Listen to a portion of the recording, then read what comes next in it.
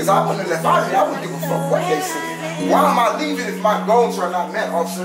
I own this, this vehicle, all this. Go run this up to your legal department or call one of them, all the fucking detectives and ask them is this bona fide, legitimate ownership of the, of the, of the asset that we have in question. Yeah!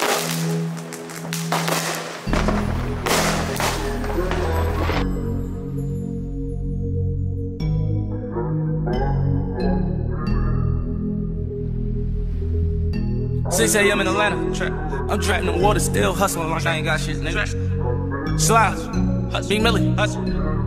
Get it, get it, yeah.